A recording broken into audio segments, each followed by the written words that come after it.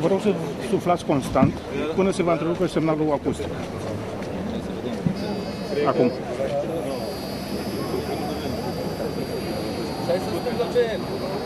Gata.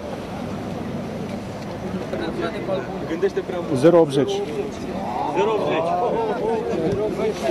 La fața locului a fost uh, găsit autoturismul marca Scovia, uh, Skoda Octavia cu număr de București, care era poziționat pe contrasens. Uh, Conducătorul acestuia a fost testat cu aparatul etilotez, rezultatul fiind de 0,80 mg per litru alcool pur în aerul expirat. În această cauză s-a întocmit dosar de cercetare penală pentru articolul 87 aliniatul 1 din nou UG 195 pe 2002.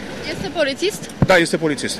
Pe lângă faptul că i s-a întocmit dosar penal pentru conducerea unui autoturism sub influența băuturilor alcoolice cu circunstanțe agravante, Minel Sanda, ofițer în cadrul Serviciului de Investigare a Fraudelor, va intra în Comisia Curții de Apel Craiova. Acesta ar putea să-și piardă funcția din cadrul Inspectoratului de Poliție Gorj. Având în vedere faptul că șoferul are calitate de ofițer în poliție judiciară, a fost sesizat uh, de îndată parchetul de pe lângă Curtea de Apel uh, Craiova competent cu soluționarea acestui caz. De asemenea, conducerea inspectoratului a dispus uh, cercetarea prealabilă a ofițerului în regim de urgență, urmând să dispună conform prevederilor legale, respectiv în conformitate cu legea numărul 360 privind statutul polițistului.